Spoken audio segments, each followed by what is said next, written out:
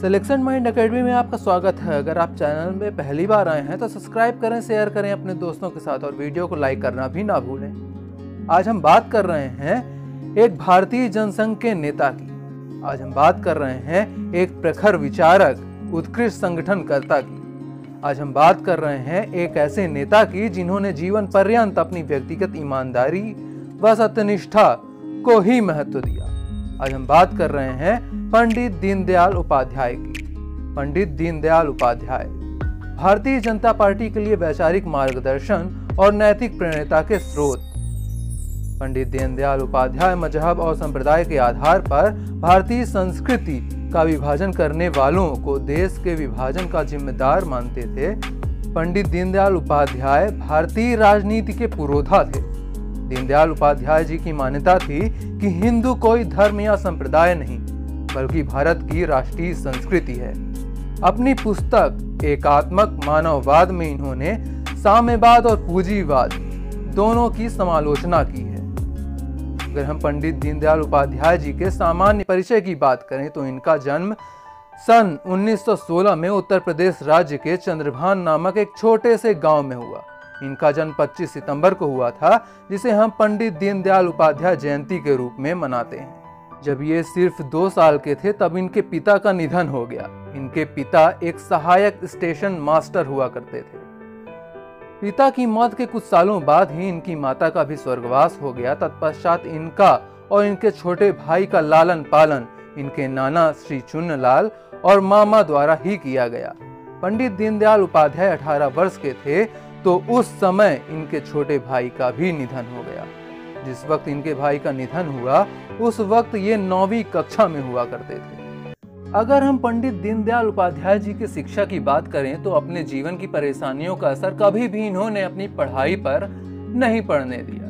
इन्होंने हर परिस्थिति में अपनी पढ़ाई जारी रखी, इन्होंने अपनी मैट्रिक स्तर की शिक्षा राजस्थान राज्य से हासिल की और इंटरमीडिएट स्तर की शिक्षा इन्होंने राजस्थान के ही पिलानी में स्थित बिड़ला कॉलेज से प्राप्त की। राजस्थान से इंटरमीडिएट स्तर की शिक्षा प्राप्त करने के बाद इन्होंने उत्तर प्रदेश के कानपुर में स्थित सनातन धर्म कॉलेज में प्रवेश लिया और साल 1936 में इस कॉलेज से प्रथम स्थान में स्नातक की उपाधि प्राप्त कर ली। स्नातक स्तर की पढ़ाई करने के बाद इन्होंने अंग्रेज़ी साहित्य में स्नाकोत्तर करने के लिए आगरा के सेंट जॉन्स कॉलेज में दाखिला लिया। लेकिन किन्हीं कारणों के चलते इन्हें अपनी पढ़ाई बीच में ही छोड़नी पड़ी। पढ़ाई में काफ़ी तेज थे दीनदयाल उपाध्याय जी। और इसी कारण मैट्रिक की परीक्षा में प्रथम आने के कारण सीकर के राजा कल्याण सिंह की ओर से दस रुपए और दो सौ पचास रुपए की मासिक छात्रवृत्ति और स्वर्ण पदक इन्हें प्रदान किया गया। एक बार की बात है कि पंडित दीनदयाल उपाध्याय अपनी स्नाकोत्तर की शिक्षा ले रहे थे। उसी वक्त इनकी चचेरी बहन राम देवी जी का निधन हो गया, जिसके कारण ये अंग्रेज़ी साहित्य की परीक्षा नहीं दे पाए और इनकी पढ़ाई पूरी नहीं हो सकी। पंडित दीनदयाल उपाध्याय ने प्रांतीय सेवा परीक्षा को पास कर सरकारी नौकरी प्राप्त की और राजनीति में आने के चलते इन्हें नौकरी छोड़नी पड़ी। पंडित दीनदयाल उपाध्याय ने अपने जीवन में विवाह नहीं किया और इन्होंने अपना सारा जीवन पार्टी को ही समर्पित किया। अब हम जानेंगे पंडित दीनदयाल उपाध्याय जी द्वारा किए गए महत्वपूर्ण कार्यों को। पंडित दीनदयाल उपाध्याय जी आरएसएस के एक प्रचारक रहे और इसके रूप में इन्होंने महत्वपूर्ण कार्य किए। प्रचारक बनने से पहले इन्होंने सन उन्नीस सौ उनतालीस और 1942 में संघ की शिक्षा का प्रशिक्षण लिया और 1955 में इन्हें लखीमपुर ज़िले में आरएसएस के प्रचारक के रूप में नियुक्त किया गया। आरएसएस का प्रचार करने की ज़िम्मेदारी इन्हें ही प्रदान की गई। साल उन्नीस सौ इक्यावन में भारतीय जनसंघ पार्टी की इन्होंने नींव रखी। पार्टी को बनाने का पूरा कार्य इन्होंने श्यामा प्रसाद मुखर्जी जी के साथ मिलकर किया। पार्टी के गठन के बाद उपाध्याय जी को इस पार्टी का महासचिव भी नियुक्त किया गया। भारतीय जनसंघ पार्टी आरएसएस से जुड़ी, जो कि हिंदू राष्ट्रवाद की विचारधारा रखती थी। 1977 में ये पार्टी जनता पार्टी के नाम से प्रसिद्ध हुई। साल 1980 में इस पार्टी का नाम भारतीय जनता पार्टी के नाम पर रख दिया गया। अगर हम पंडित दीनदयाल उपाध्याय की एक पत्रकार के रूप में भूमिका की बात करें तो ये काफ़ी प्रसिद्ध पत्रकार हुआ करते थे। राष्ट्रधर्म नामक अखबार के लिए इन्होंने कई लेख लिखे। साप्ताहिक पंचंजा और दैनिक स्वदेश नामक दो अखबार भी इन्होंने प्रारंभ किए। चंद्रगुप्त मौर्य पर एक नाटक इन्होंने लिखा और शंकराचार्य के जीवन पर एक पुस्तक भी इन्होंने लिखी। आइए अब हम जानते हैं पंडित दीनदयाल उपाध्याय जी द्वारा प्रस्तुत दर्शन के बारे में। इनके द्वारा प्रस्तुत दर्शन को एकात्म मानववाद कहा जाता है और इसका उद्देश्य है एक ऐसा स्वदेशी सामाजिक आर्थिक मॉडल प्रस्तुत करना, जिसमें विकास के केंद्र में मानव हो। अगर हम पंडित दीनदयाल उपाध्याय जी की बात करें तो इन्होंने पश्चिमी पूंजीवादी व्यक्तिवाद एवं मार्क्सवादी समाजवाद दोनों का ही विरोध किया। लेकिन आधुनिक तकनीक एवं पश्चिमी विज्ञान का स्वागत किया। पूंजीवाद एवं समाजवाद के मध्य एक ऐसी राह के पक्षधर थे, जिसमें दोनों प्रणालियों के गुण तो मौजूद हों, लेकिन इनके अतिरेक एवं अलगाव जैसे अवगुण ना हो।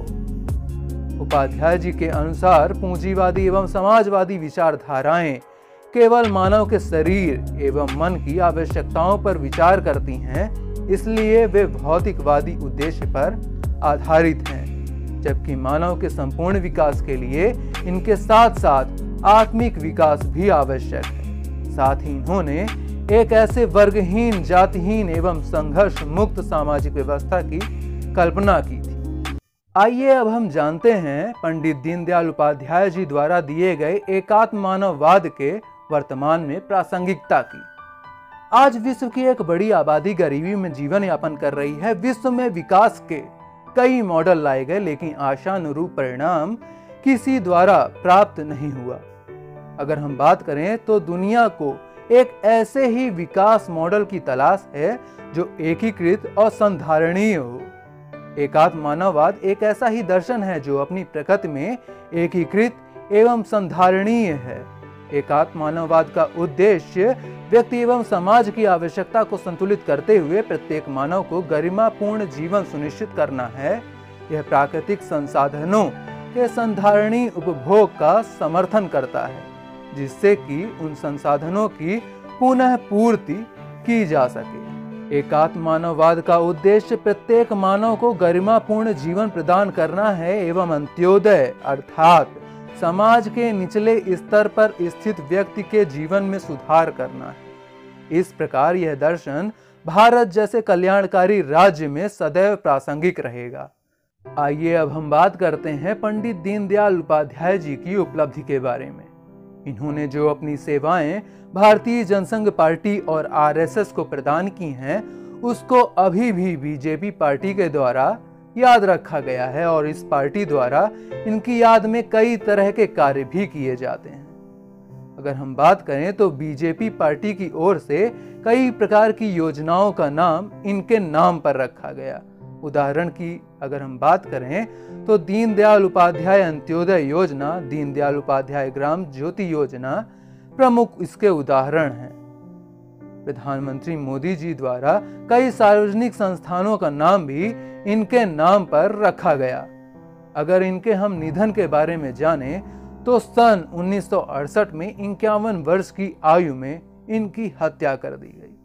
मुगल सराय स्टेशन पर इनका शव प्राप्त हुआ था और इसी कारण इस स्टेशन का नाम बदलकर 2018 में दीनदयाल उपाध्याय रेलवे स्टेशन कर दिया गया।